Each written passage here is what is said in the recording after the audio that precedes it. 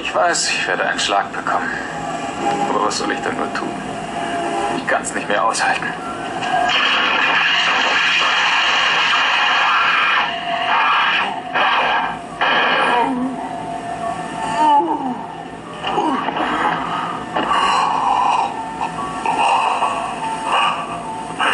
Das war es wirklich wert.